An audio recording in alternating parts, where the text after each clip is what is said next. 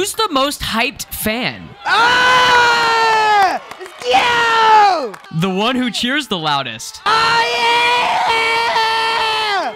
Oh yeah, come on, drop it, drop it! Feast your eyes on Waldo.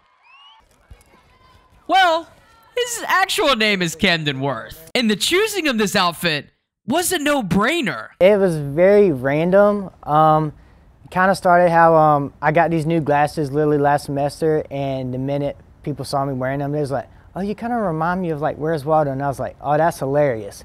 Um, it was like literally two weeks before school started. I was just walking around Walmart, and there's this Waldo outfit, and I'm like, oh, "That's perfect," because I was thinking about doing it for Halloween anyways. His yelling Yeah!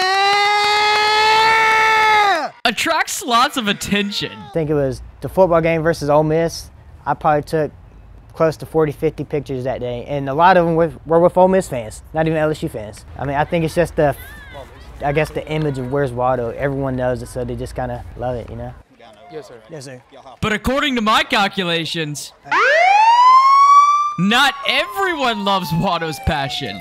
Don't worry, Waldo and his friends were released by police after a short interrogation process, and they were allowed to continue rooting as their heart desires. Only if they relocated somewhere else in the stadium.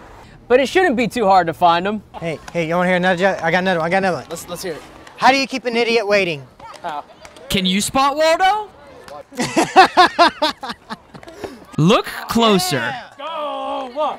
Oh, there he is. And the rest of his group is just as passionate. Oh, it's very true. If we had a chess team and I knew exact times and we were hosting it on campus, I would dress up just like this. I'll go be sitting behind them, waiting for him to say checkmate just so I can jump up and start screaming.